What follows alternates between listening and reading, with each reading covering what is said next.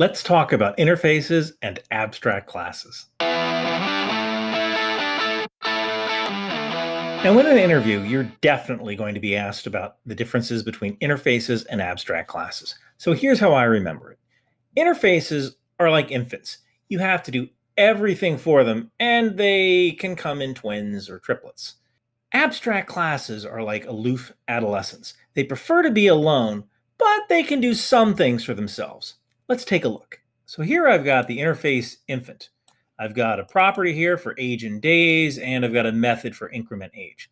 Now, if I try to actually instantiate this, Visual Studio starts yelling at me. Why? Because this is a baby. I can't put it to work yet. Just like a baby, an interface has all of the things you need to get an adult human started, but you have to actually teach this thing and implement this thing. So let's see how we do that. So now I've derived my infant from the interface infant.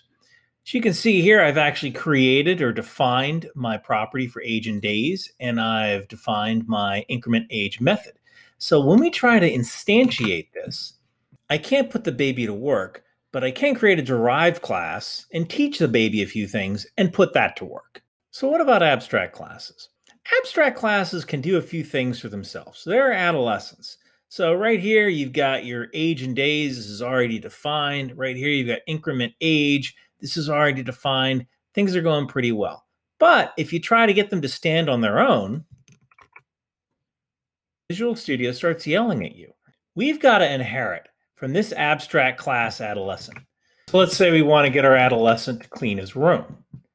Now, if we take a look up here, let's create a new instance of the derived class.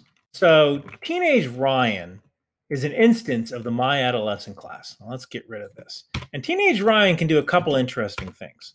So teenage Ryan can increment his age, which, as you can see, was part of the abstract class, void increment age. You know, down here, we don't have this because this inherited from adolescent. But also, teenage Ryan can clean his room.